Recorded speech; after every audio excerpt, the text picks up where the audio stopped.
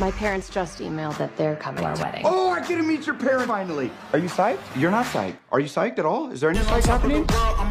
You haven't met this woman parents yet. They've been off the grid the whole time we've been together. Hey, Billy and Lilly McDermott. Meet my parents. Pleasure to meet you, Neil. You're very attractive. Well, thank you. That's not a compliment. For me, it's too much. You deserve something better than that pasty little goober. Dad, just give him a chance.